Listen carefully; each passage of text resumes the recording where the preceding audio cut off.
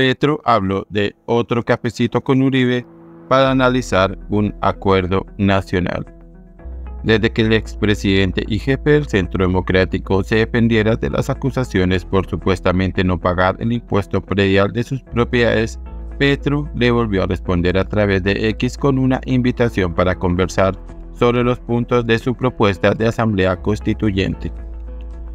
Todo empezó el pasado jueves cuando el presidente Gustavo Petro durante el gobierno con el pueblo en San Antonio de Palmito Sucre aseguró que el expresidente Álvaro Uribe no estaba pagando el predial de sus propiedades.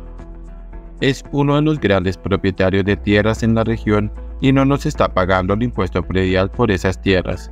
Yo propongo que el acuerdo nacional, que por lo menos paguen los impuestos para financiar la educación y la salud, dijo puntualmente. Al día siguiente, el jefe natural del Centro Democrático lo refutó y señaló que tiene cómo comprobar que está al día con sus impuestos.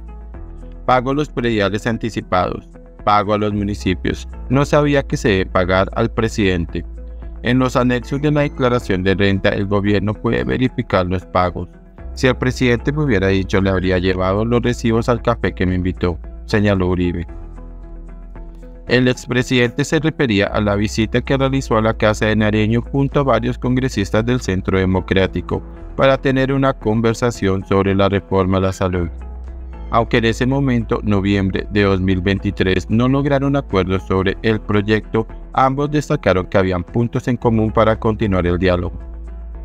Con esa referencia del exmandatario, el presidente Petro volvió a hablar de tomarse otro café con Uribe. El cafecito ahora sí tiene hasta jengibre. Se ha puesto 8 puntos para el acuerdo nacional.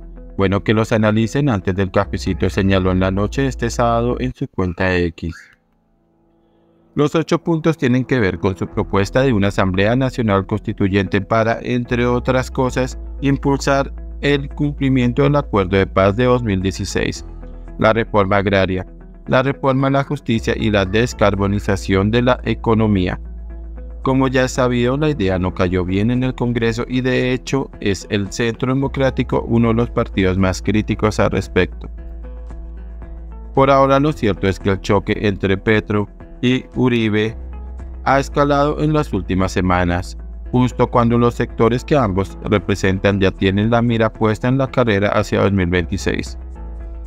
Además del tema del predial, y las reformas, presidente y expresidente se han enfrentado con la llegada de Salvatore Mancuso al país y hasta por la propuesta de pedir donaciones ciudadanas para financiar obras 4G en Antioquia.